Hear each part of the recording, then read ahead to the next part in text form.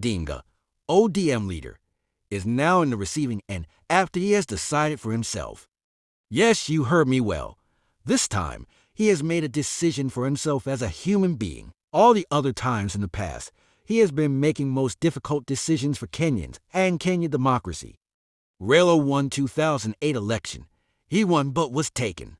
Fellow Kenyans, we have in the last two days witnessed tensions running high in our nation.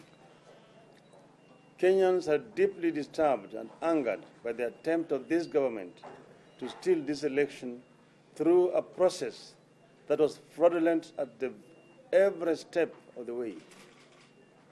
The people know that they voted to reject the incumbent and put in place a president and a government they will have faith in. That is why they have elected me as the president.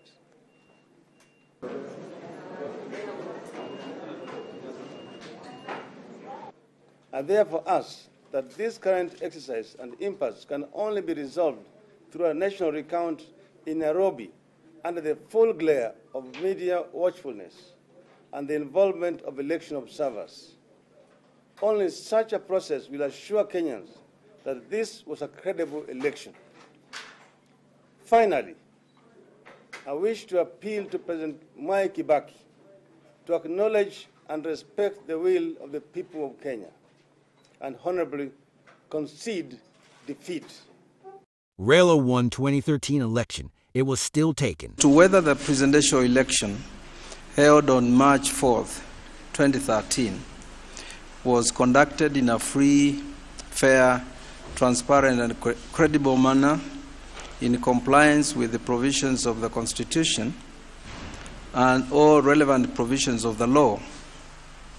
It is the decision of the court that the said elections were indeed conducted in compliance with the Constitution and the law.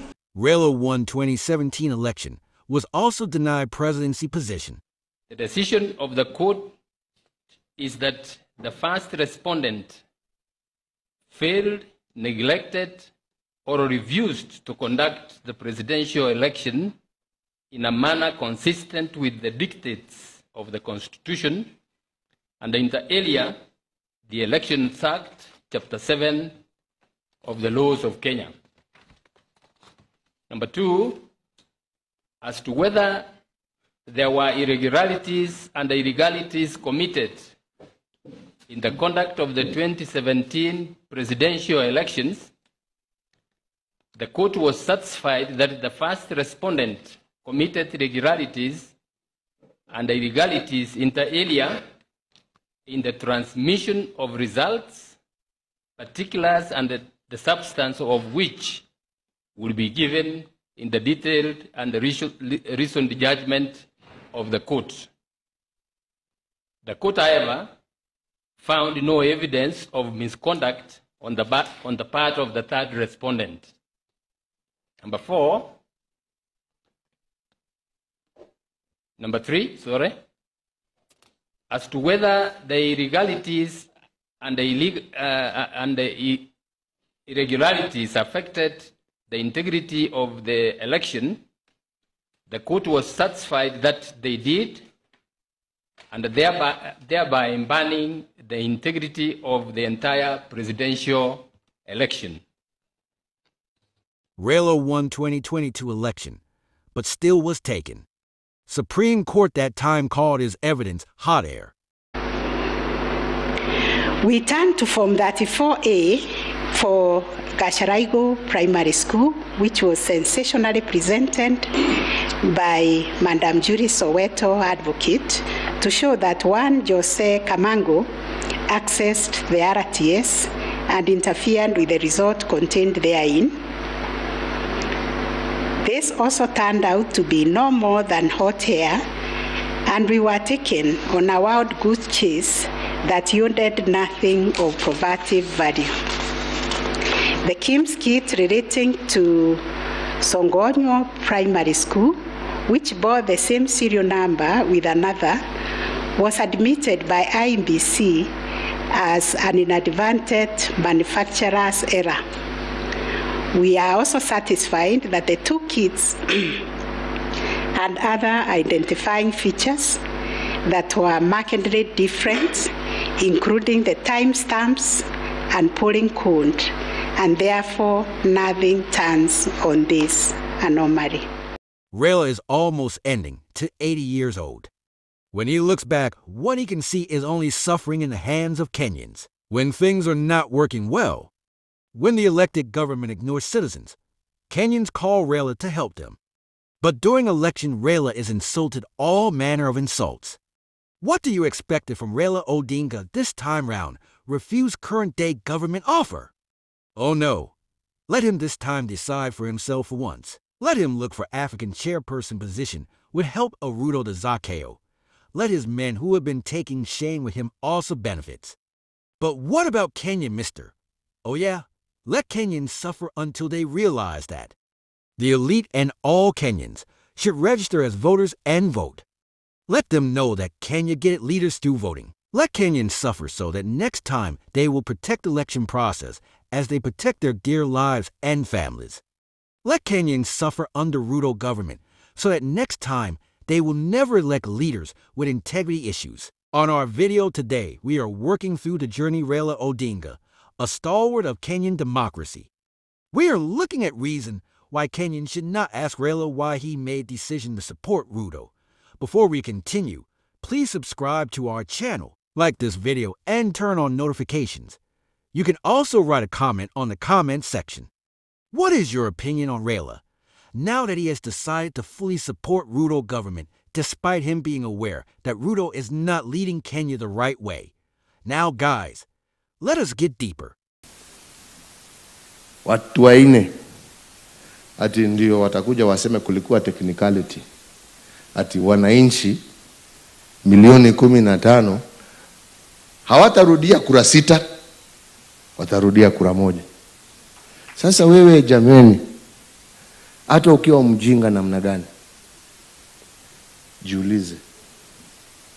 mc amepigiwa kura, imekuwa transmitted.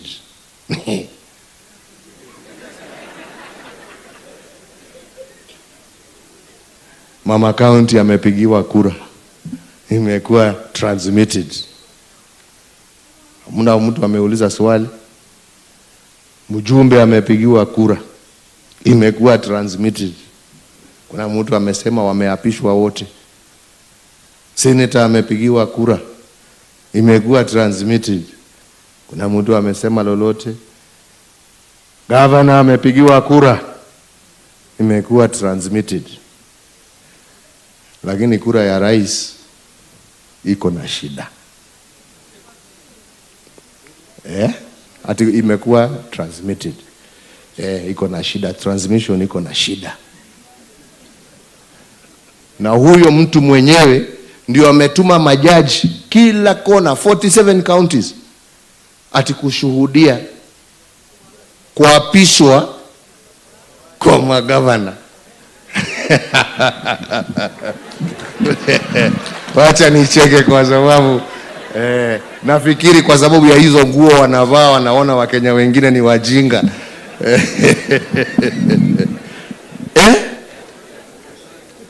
Explain to me. Explain to me. Eh? Eh? Eh? Haki, wacha tuseme tu ni wapenda amani, kwa sababu kama sio wapenda amani wangeona cha mtema kuni eh. Eh? Can you imagine? Can you imagine? Mwenyewe mimi nilikuwa kwa my sister hapa Bomet, nimeona amevaa gauni mzima hapo, alikuwa na tumbo imekuwa imefika hapa eh? Eh, akisimamia kusain makaratasi ya Laboso eh, lakini sasa ame and I have always said We have a problem with our judiciary. But regardless, we respect, but we shall revisit.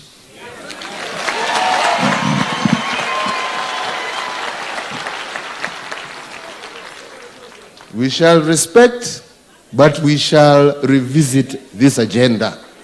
Oh, yes, we shall. First and foremost, we shall address ourselves to the people of Kenya. Can you imagine? Even in America, which is supposedly the largest, the greatest democracy in the world. Wakati walishindana George Bush tu na Al Gore, Supreme Court ya huko walienda wakasema, kwanza kwanza, even before we discuss anything else, technicality hii hii hii, kwanza we are here to respect the will of the people. Wakaenda kuhesabu mpaka walikuwa wanatoa ile, walikuwa makaratasi ile, ati hii hii, hii kura iko namna gani? Ehe, eh, to reject, to accept, to reject, because they knew as a Supreme Court they cannot overturn the will of the people. Lakini Maraga thinks he can overturn the will of the people. We shall show you in 60 days that the will of the people cannot be overturned by one or two individuals. Na tutakutana huko.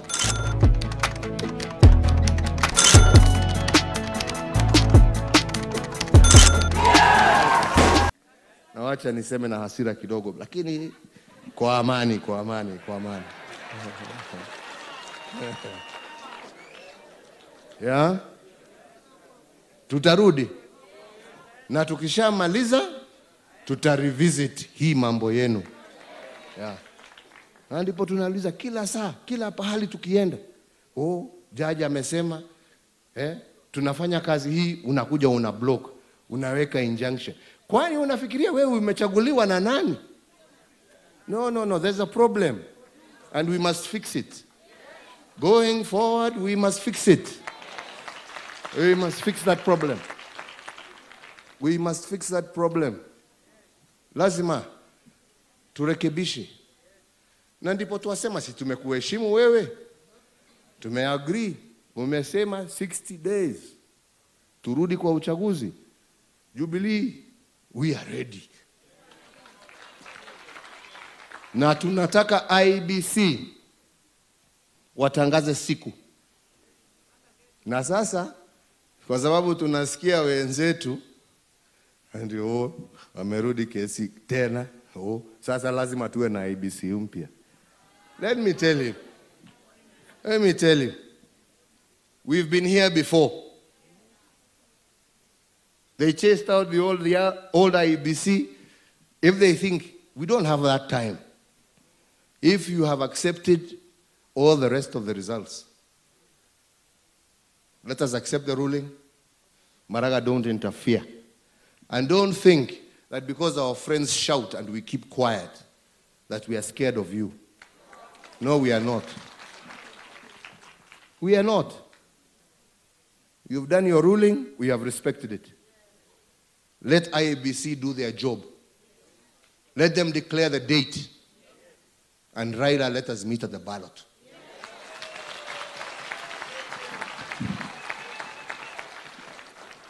Hiyo? We are not bothered with courts any. Court wamemaliza kazi yao, wamesema turudie.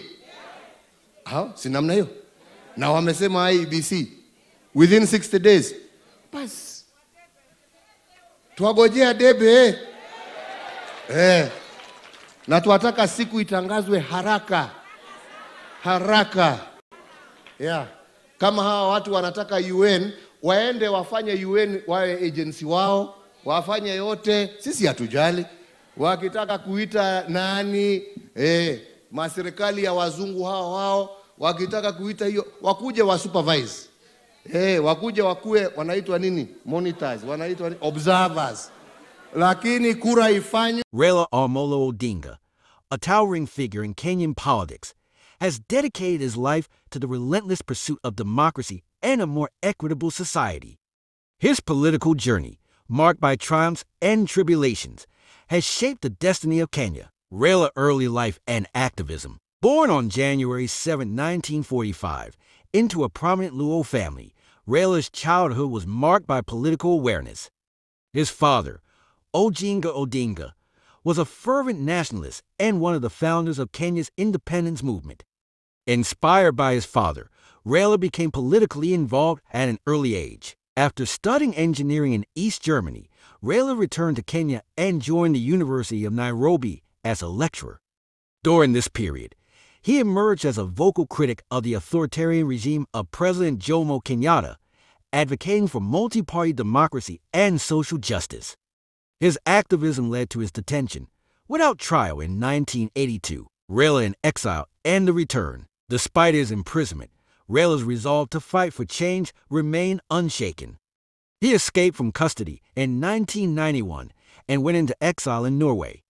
From abroad, he continued to rally support for democratic reforms and fought against human rights violations. Upon his return to Kenya in 1992, Raila joined forces with other opposition leaders to form the Forum for the Restoration of Democracy Forward. As its Secretary General, he played a pivotal role in the movement that eventually forced Kenya's successor, Daniel Arap Moi, to introduce multi-party democracy in 1992, the KANU era and Raila quest for the presidency. Despite the introduction of multi-party politics, Kenya's political landscape remained dominated by the ruling Kenya African National Union KANU. Raila became a formidable challenger to KANU, contesting for the presidency in three consecutive elections 1997, 2002, and 2007. His campaigns, characterized by populist rhetoric and promises of economic transformation, resonated with the masses. However, allegations of electoral fraud and manipulation marred each of these elections, leading to widespread protests and political unrest. The 2007 2008 post election crisis and Raila decision, the contentious 2007 presidential election, which Raila lost to the incumbent Mwai Kibaki, plunged Kenya into a deep political crisis. Alleged rigging and irregularities sparked violent ethnic clashes, resulting in hundreds of deaths and the displacement of hundreds of thousands of people. Raila played a central role in mediating the crisis, working with other political leaders and international mediators to negotiate a power sharing agreement between his party and Kibaki's. This agreement helped stabilize the country and prevent further violence. In all successful negotiations, there is give and take. Invariably, some supporters on each side feel that their negotiators gave too much. To those people in Kenya, I would say this compromise was necessary for the survival of this country. Support this agreement, for it is the key to the unity of Kenya. Today we have reached an important stage in the post, but the journey is far from over. In fact, it is only beginning. The real challenge now is for President Kibaki and Honorable Raila Odinga to work together to heal and reconcile this nation, working jointly to implement the reform agenda on which they agreed, they have agreed, and sustaining the effort until the job is done. But the job of national reconciliation and national reconstruction is not for the leaders alone. It must be carried out in every neighborhood, village, hamlet of the nation. Raila, the Prime Minister, and the Grand Coalition government, under the power sharing agreement, Raila became Kenya's first Prime Minister in 2008. His tenure was marked by efforts to implement constitutional reforms, address long standing grievances, and promote economic recovery. However, the Grand Coalition government was often rocked by political infighting and disagreements between Raila and Kibaki. The ambitious constitutional review process, intended to strengthen democratic institutions and address historical injustices, ultimately stalled. Raila's quest for democracy continuation. Despite the setbacks, Raila's commitment to democracy and social justice remain unwavering. He once again contested the presidency in 2013 and 2017, narrowly losing to Uhuru Kenyatta both times. After the 2017 election, Raila formed the National Super Alliance NASA coalition and challenged the results in court. However, the Supreme Court upheld Kenyatta's victory. Undeterred, Raila continued to play an influential role in Kenyan politics, offering critical commentary on the government's policies and advocating for a more inclusive and equitable sociedad. He remained a beacon of hope for many Kenyans who saw him as a champion of their struggles. Raila legacy and impact. Raila Odinga's political career has been intertwined with the history of Kenya's democratic struggle. His unwavering commitment to multi-party democracy, human rights, and social justice has left an indelible mark on the nation. Despite enduring setbacks and controversies, Raila's legacy is that of a tireless fighter for the rights of the voiceless and a relentless advocate for a more equitable and democratic Kenya.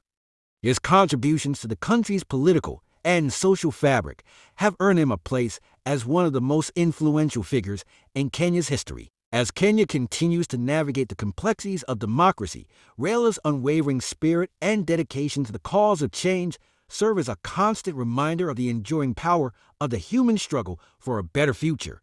We have come to an end of this video. Please subscribe to our channel, like this video, and turn on notifications. You can also write a comment on the comment section. What is your opinion on Raila now that he has decided to fully support Ruto government despite him being aware that Ruto is not leading Kenya the right way? Thank you so much for watching up to the end. Let me meet in our next video. Good luck.